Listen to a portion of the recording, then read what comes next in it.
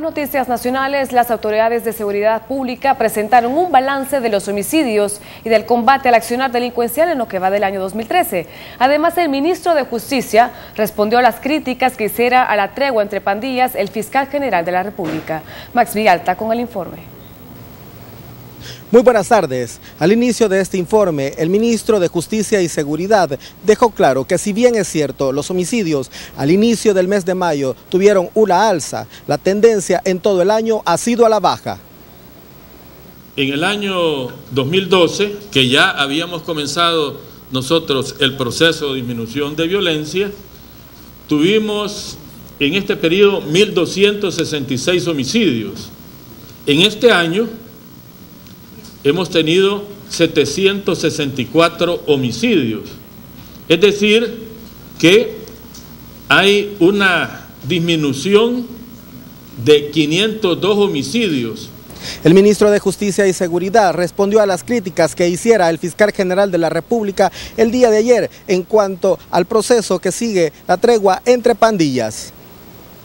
Yo siempre he dicho que el señor fiscal tiene razón en el sentido de que esta tregua él la mira en términos absolutos, o los pandilleros se comprometen a no agredirse entre ellos y a no matar, y si lo cumplen a medias, para él eso es hipocresía. Sin embargo, para nosotros este es un proceso que nos ha ayudado a disminuir la violencia y las pruebas están en que hemos eh, disminuido los homicidios de 14 a un promedio de 5 diarios.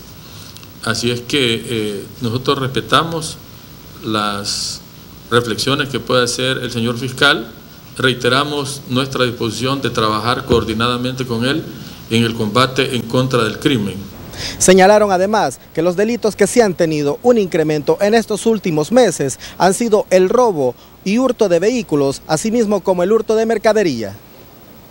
Tenemos arriba, en primer lugar, el delito de hurto de vehículo que es el que más nos preocupa.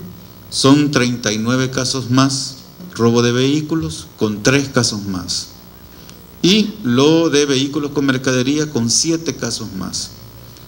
Esta es la información generada a esta hora. Muy buenas tardes.